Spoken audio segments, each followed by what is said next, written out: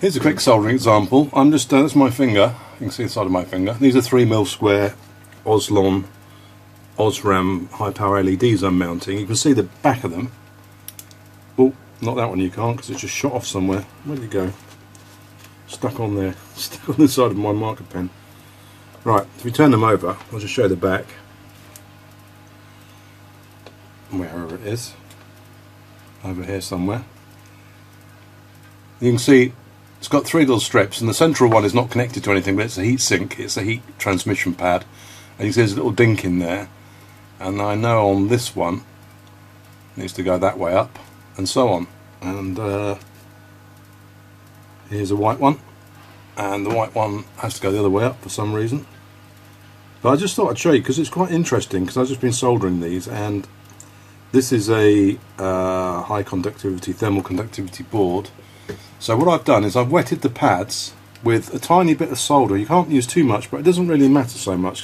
this is about the third big strip I've done. It's for a lighting project we're developing. Oh, agricultural grow lighting actually. So let's have a go. I'll just show you this. I thought might.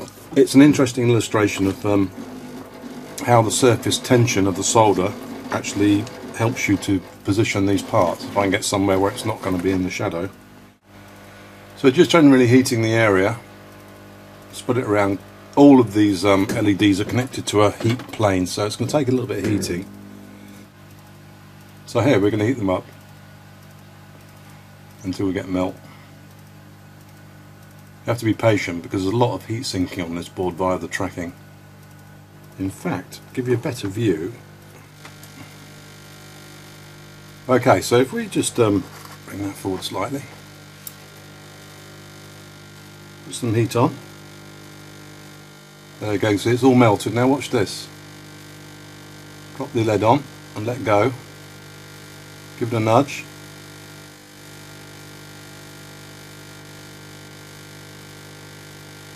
And then just push it down to push any extra solder out. And it's done. Let's try again with this one.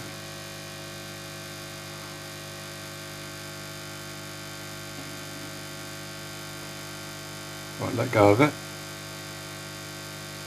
Can you see it actually goes into position on its own? That's the power of the uh, the power of the surface tension of the solder which locates, that's what the surface mount process relies on. I do this one as well.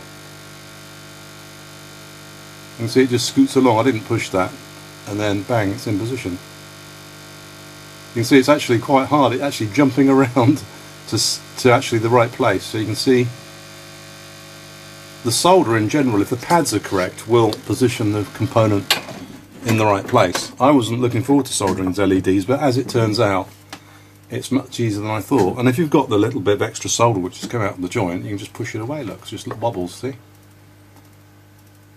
Well, just a very quick video on soldering components and the power of the um, surface tension on alignment of surface mount, so I thought you might find that interesting.